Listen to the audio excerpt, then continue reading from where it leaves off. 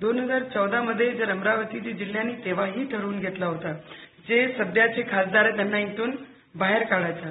आणि तेव्हाही जर मोदी साहेबांची सभा झाली नसती तर मला नाही वाटत आणि आमच्या जिल्ह्याच्या लोकांनीही ठरवून घेतला होता की बाहेरचे लोक बाहेरच्या व्यक्ती ज्याचा मतदान या जिल्ह्यात नाही ज्यांच्या अं, मतदान नाही घर नाही नाता नाही नातेवाईक नाही या जिल्ह्यामध्ये त्या व्यक्तींना आमच्या जिल्ह्यामध्ये आम्ही स्थान देऊ नये.